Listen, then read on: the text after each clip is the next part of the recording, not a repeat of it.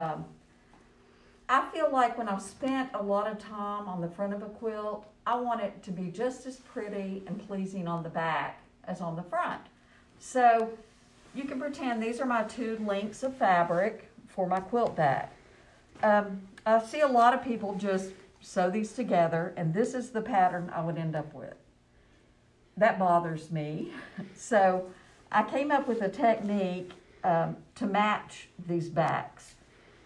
I've taken one of the links and folded under an equal amount the entire length. It can be an inch and a half, two inches. You want to make sure you're far enough away from the selvage that it's not going to be included in your quilt. This uh, tape you see on here is Steam-A-Seam Light. It comes in quarter inch and half inch, and I've used the quarter inch. It comes on a roll.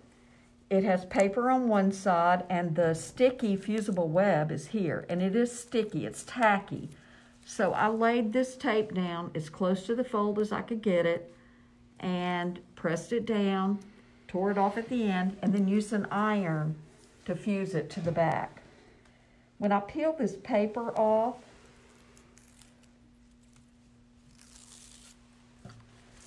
it's still tacky. Get this in. So I can, I'm going to pull this over where the pattern matches and you can see. Now this is what I would like my quilt back to look like. Here's, here's where the seam will be. And this tape is tacky, so I'm just going to press it down, take it to the ironing board, and fuse it.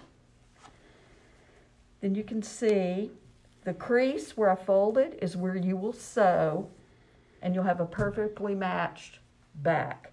You can trim this off to about half an inch. You do have a little waste, but to me, I think it's worth it to get that matched perfect back.